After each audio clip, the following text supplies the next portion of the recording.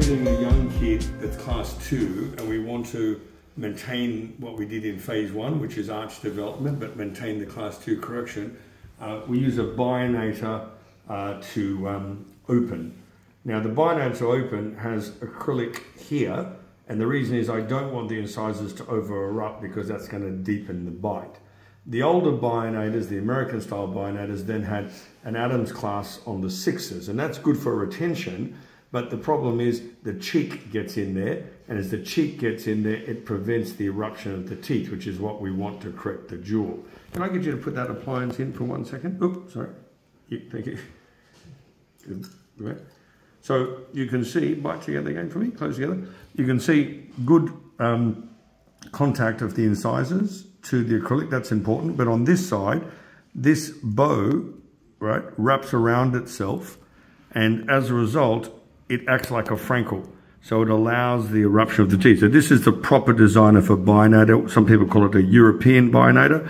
Now, the only thing I miss about the American bionators, open again for me, is that they do have here class. So I would suggest if you combine the American bionator with the European, you get the best of both worlds because then you get good retention. Uh, because right now, can you put that back in for a second? You can see he's good at wearing it, but when he opens, just open a little bit, it tends to unseat itself, bite together. So the original European bionator was a postural appliance and uh, a bit like a Myobrace, you of keep it in there. He's done well on that. But if you have compliance problems, putting clasps on gives you better retention. So again, the design features, incisal coverage with acrylic, but nothing posteriorly because you want those teeth to erupt. Uh, open again for me.